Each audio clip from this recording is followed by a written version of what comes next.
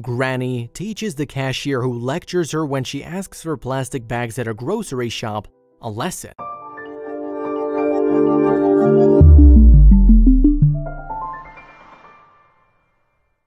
With the advent of new technology, the gap between the generations has widened infinitely. This has created a difference in the thoughts of the younger generation. The values that were taught to them are fading out day by day, and due to this, they have started to think that they're better than others. A young cashier had the same illusion, but her bubble burst when she met this old lady. What the lady did was something less imaginable, and everyone present there was stunned. Dorothy is an aged woman with a simple mindset, having a sense of least dependence on others and getting the things done on her own. Her expectations from life are simplicity and ease of work. But does it always happen as we think it would? Her days started like the others. She used to shop in bulk so that she could save time and money. The idea was the more she bought per shopping session, the less she'd have to shop in total. According to her, this was meant to be another usual day at the store, but one person changed everything. She never prioritized riding around on one of those motorized shopping carts or have groceries delivered to her door. She handled it all by herself. As she went from shelf to shelf around the store with her cart, she filled it up with a variety of products from cosmetics to packaged food to fruits and vegetables. Dorothy's shopping was going very well. She had visited the supermarket a number of times and had no trouble finding all the things she needed and wanted, keeping the confusion aside what's needed and what wasn't. Her trip to the market was a success. Although after having so much confusion and walking, she finished up her shopping and proceeded to the cash counter to get her groceries billed and end her session there. Even the queue at the billing counter seemed to be moving quickly. As she slowly pulled up to the front of the billing counter, she started unloading her stuff and the cashier didn't look pleased and looked at her with a sigh, as it's probably the biggest load she had ever dealt with that day. After scanning all the stuff with a laid down expression, the cashier asked Dorothy how many carry bags she required for the stuff she purchased. Deep down, she didn't know how many plastic bags she'd be requiring. With that dilemma in mind, she started packing the stuff on her own. Dorothy started to load her stuff. The cashier started helping the confused Dorothy and while doing so, irritably said, You should bring your own bags as plastic is not safe for the environment. The old woman was startled by this comment. She had been going there for years but never got commented on this thing. She never expected any of their staff to treat her in such a way, so for her it was a bit of a surprise. So she looked in the eyes of the cashier who was aware of the fact that she has turned her focus towards her, and with a very polite tone, Dorothy apologized and said, We didn't have these green things in my earlier days. Instead of accepting the apology, the cashier replied in a very rude way, this is the problem for our generation now, as your generation didn't care to save the environment for future generations. The lady was surprised by this and surely had enough.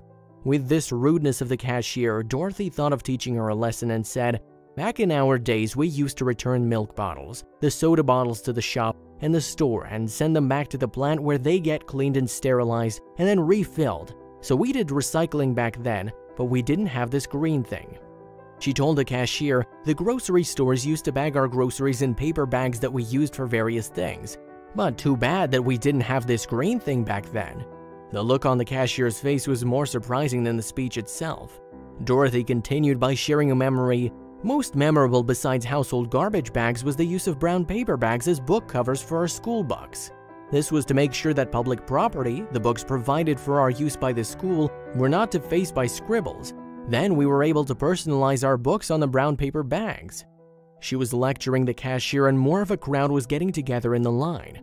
It was obvious the cashier was more keen to attend to other customers than listening, but her speech had most likely made a connection with some of the customers in the queue, and her conversation with the cashier had become impressive. The lady's points were reasonable and valid. The woman continued to tell her more about the way of life back in her day, expressing how simple but effective it was, and reusing and recycling of materials were practiced even way back then. So everyone standing there was listening to her as they found it interesting. It looks like they weren't in a hurry to leave. She kept explaining to the girl about how good the old days were and how they lived a healthy life, healthier than today in certain terms. She said, We walked upstairs because we didn't have an escalator or elevator in every store and office building. We walked to the grocery store and didn't climb into a 300 horsepower machine every time. We had to go two blocks, but you know what? You are right. We didn't have this green thing back in our days. The lady was right. It is true that back then people lived a healthy and fit life, more so than this generation due to their way of life. People used to walk miles and climb stairs as they didn't have technology like today. The lady kept on talking, we used to wash baby diapers as we didn't have the throwaway type back then, and wash our clothes by hand instead of washing machines. We don't rely on a machine for our work. After taking a break to catch her breath, she continued. Back then, we used to dry our clothes on lines because we didn't have some 220 volt energy gobbling machines to complete our work. We weren't used to wasting energy and electricity on that, but we didn't have the green thing at the time. Dorothy was making some legitimate and logical points which attracted more crowd than before, and in no time there were a lot of people standing. What seemed like a regular rhetoric at the market became an interesting discussion. The television has become a part of the nuclear family over the years since appearing in the market in the 50s. We had one TV or radio in the entire house, not in every room like today, and with a screen the size of a handkerchief, not the size of the state of Montana. At one point, she realized that she was keeping the crowd too long, but when she saw the smiles on their faces, she was aware of the fact that they were also interested. She had managed to charm her audience and was ready to make her speech more interesting. With that, Dorothy decided to continue talking. Every time there were new points and topics to start on, she started with a kitchen this time, saying that back in their time they used to stir and blend things by hand instead of electrical appliances and to make her point, she showed her flexible hand and some of the customers laughed.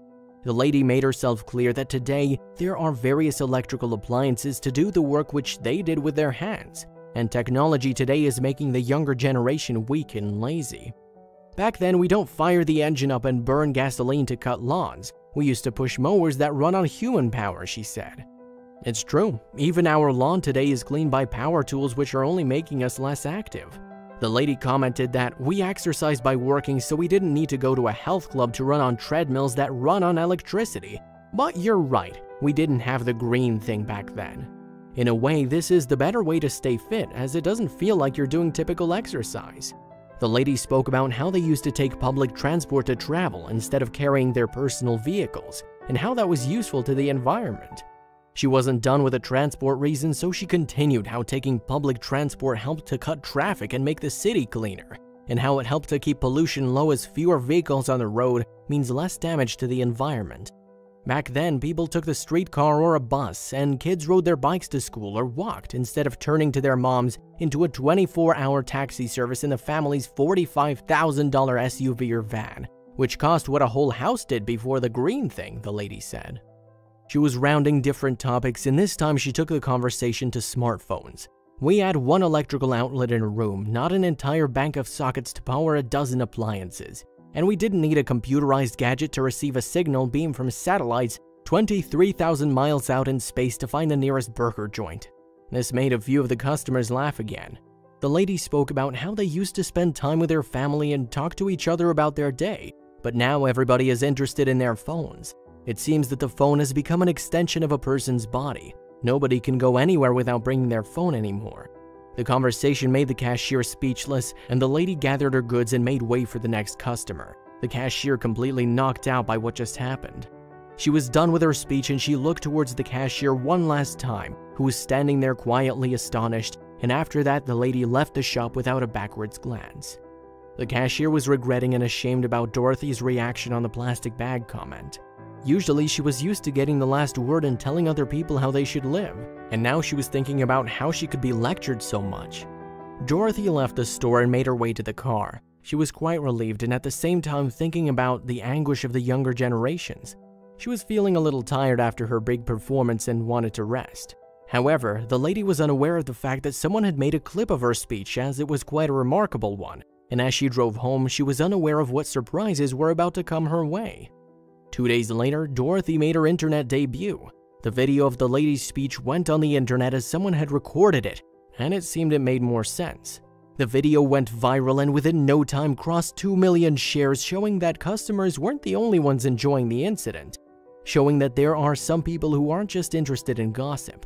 The speech has reached hearts and showed that some people are concerned about the environment and they remember how things used to be and how simple life was and how it used to cause less damage.